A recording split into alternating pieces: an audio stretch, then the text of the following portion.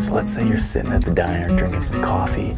You overhear a conversation in the booth behind you. Someone says, We were in the blind, and this deer came walking past my buddy, but he couldn't see him at all.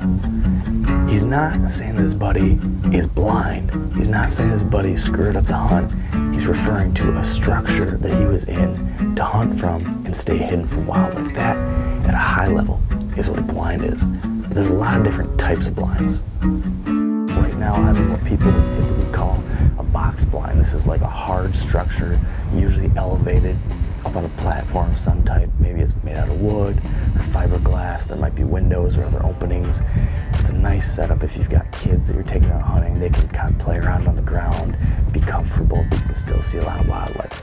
Another type of blind that's popular is a pop-up blind. This is essentially like a, uh, a quick pop-up uh, canvas or fabric enclosure, almost like a tent fold up real nicely and carry with you. And then when you get to the field, it pops up in various different ways and you different pole structures will open it up. You can sit a person or two inside there, stay hidden. Now, I actually made a blind myself as a kid where I took camo fabric, staple it onto old ski poles, and just stick that in the ground all around me. So there's a lot of creative ways you can make kind of portable blinds in that fashion.